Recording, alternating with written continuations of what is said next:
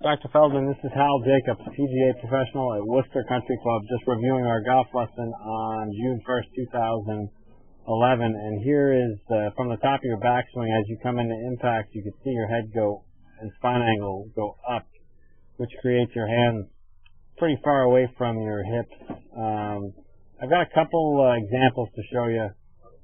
You've got uh, guys like David Toms, uh, and at impact, let me just kind of show you what his impact position looks like. His head actually goes down, and uh, you can see a little bit bent in the right elbow, and the hand's a lot closer to the body.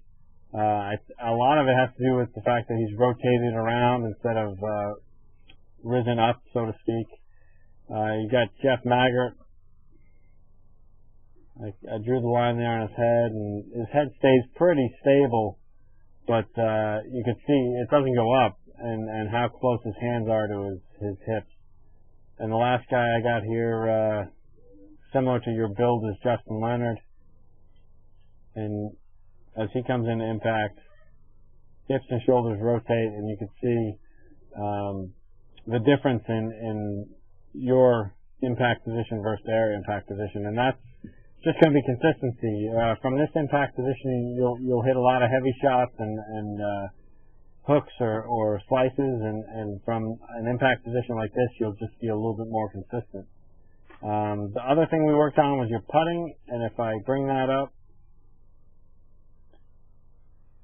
and I just just want you to look at your setup. You're a little bit hunched over, um, and uh, if I draw a line from your eyes down the ball, the ball's a little bit on the outside. So I think if you got just a little bit taller, and I'm going to bring up a couple examples. Um, one would be uh, Steve Stricker. You can see how his eyes are right over the ball. He's a little bit taller uh, in his setup. And then uh, here's me two years ago. Uh, my setup hasn't changed a whole lot, but you can see how uh, I'm a little bit taller. I'm not so bent over. Uh, that allows me to get a little closer to the ball. My hands are a little higher, and my eyes end up being over the ball. So those are the things we worked on uh, during our lesson. If you have any questions, feel free to email or uh, stop by the shop and talk. Have a great day.